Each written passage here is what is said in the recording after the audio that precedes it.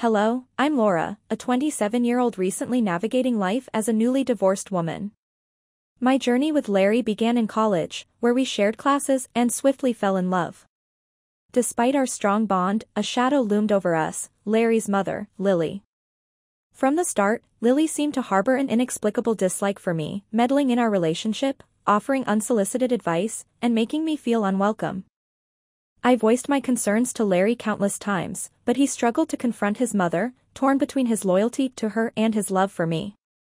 Eventually, I resigned myself to endure Lily's criticisms, believing Larry might have been unintentionally fueling her negativity by sharing too much about our life. After five years of dating, we tied the knot, much to Lily's dismay. Despite her attempts to interfere, we managed to distance ourselves from her toxic presence for a while. Both Larry and I found success in our careers, but I yearned for something more personal, a creative and fulfilling pursuit. Drawing on my passion for design, I ventured into graphic design as a side project, keeping it under wraps while I figured out where it might take me. I invested in equipment and enrolled in courses without Larry's knowledge, confiding only in my best friend, Mary. She was incredibly supportive, offering encouragement and practical advice.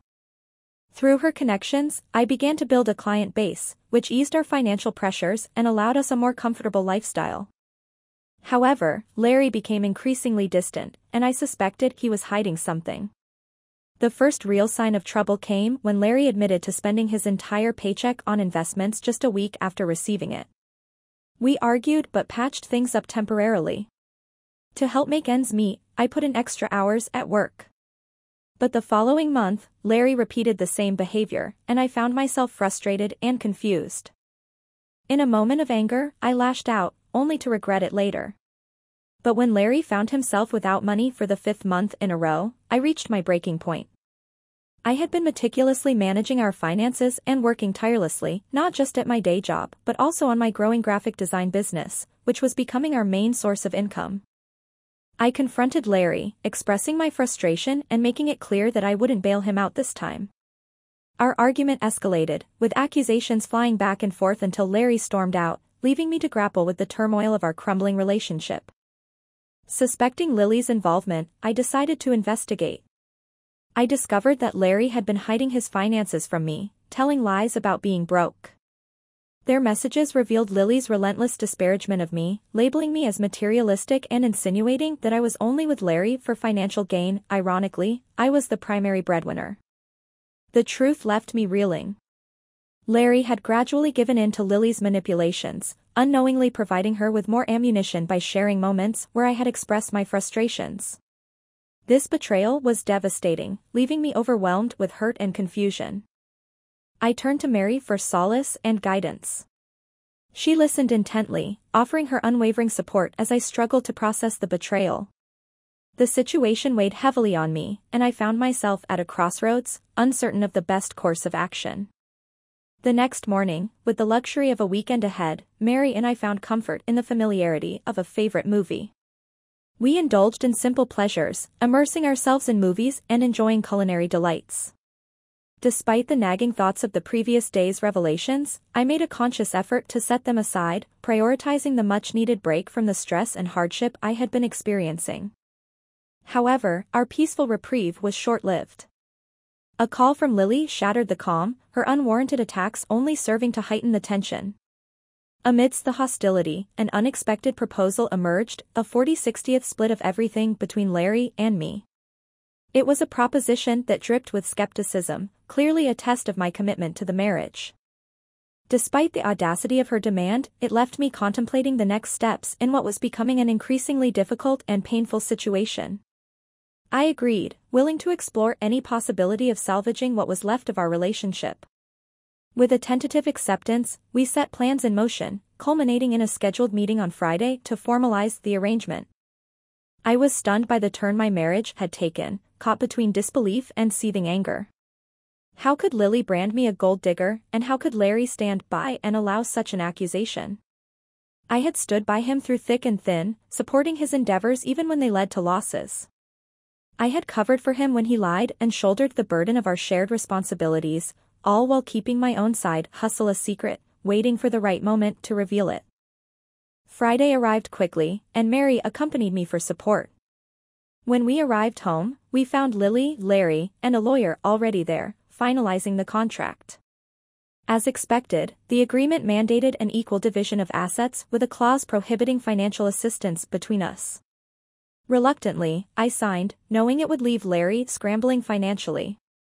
Predictably, problems ensued. Our communication was limited to curt words, the rift between us too deep to bridge. Larry attempted to reach out and mend the divide, but I remained distant, resentful of his complacency in the situation. As time passed, Larry's persistent attempts to reconnect grew tiresome, and the weight of our fractured relationship hung heavily over us. I eventually gave in. Will you please just talk to me? We can't keep going on like this, Larry pleaded, his voice filled with a longing that caught me off guard.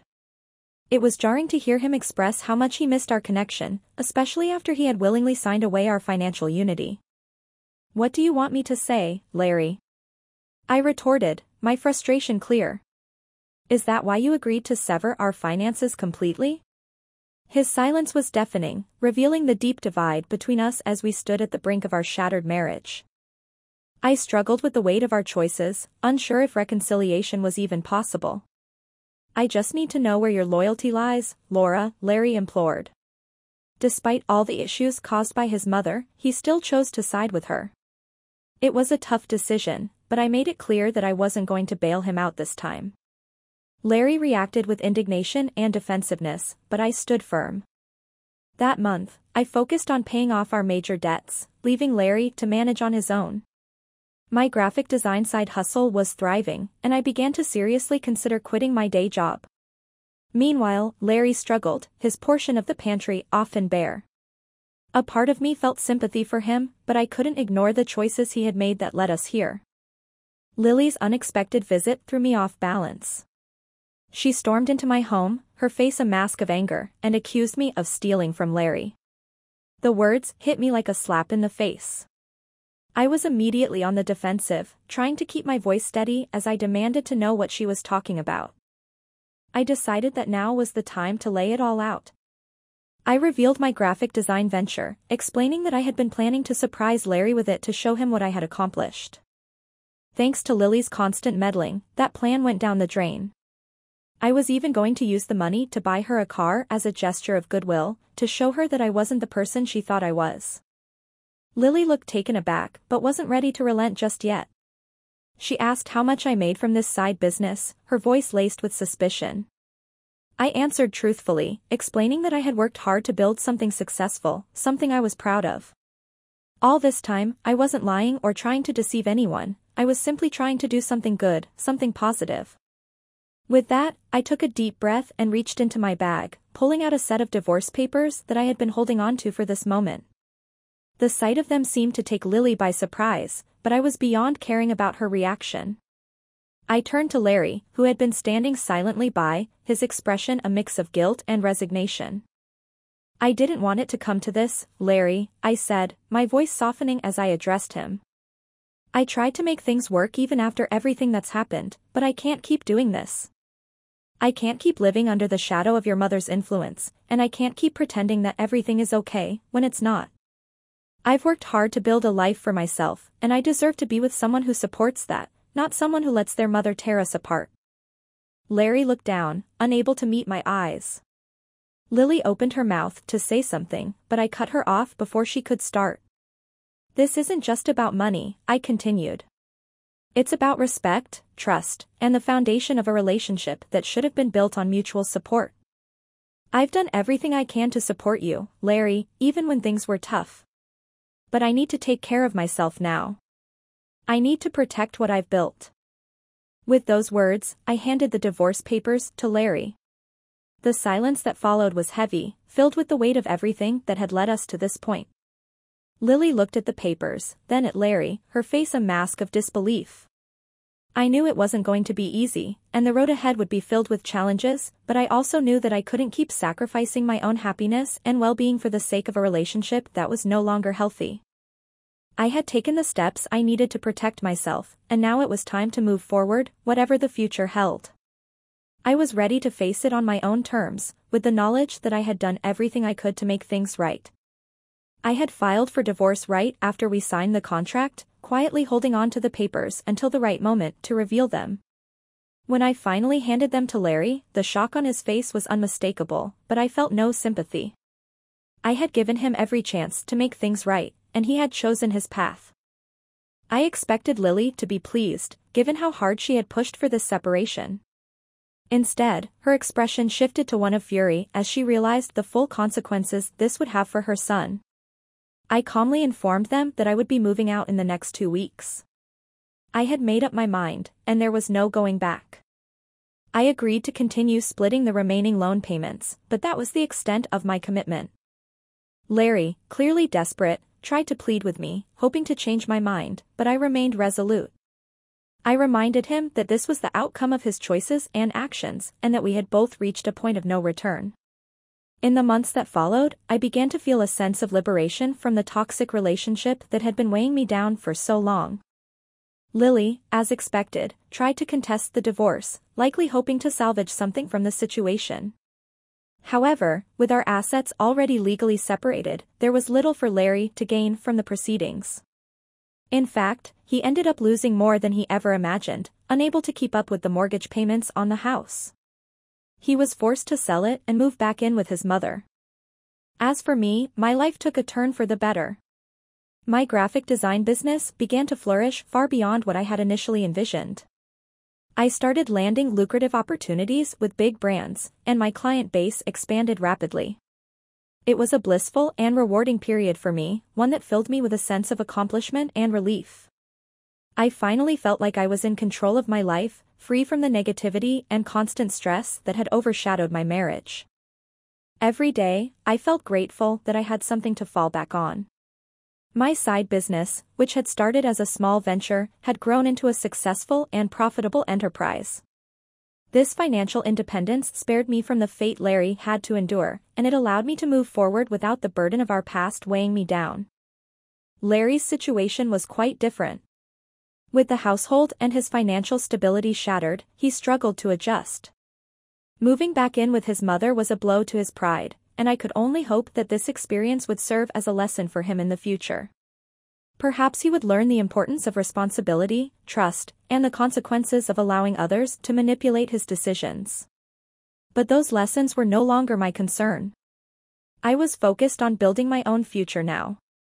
I embraced the opportunities that lay ahead, excited about what was to come, the freedom to pursue my passions, the success of my business, and the peace that came with leaving a toxic situation behind filled me with a sense of fulfillment I hadn't felt in years. Life was finally moving in a positive direction, and I was determined to make the most of it. I surrounded myself with supportive friends like Mary, who had stood by me through thick and thin. Together, we celebrated the small victories and the big achievements, knowing that this new chapter in my life was just the beginning. Looking back, I realized how far I had come and how much I had grown. The painful experiences of the past had shaped me into a stronger, more resilient person. I was no longer the woman who had been manipulated and overshadowed by others. I was now someone who knew her worth, who understood the value of independence, and who was ready to take on the world with confidence. The future was bright, and I was ready to face it with open arms, no longer burdened by the mistakes and betrayals of the past. I was free to pursue my dreams and live life on my own terms, and that, more than anything, was the most rewarding part of this entire journey.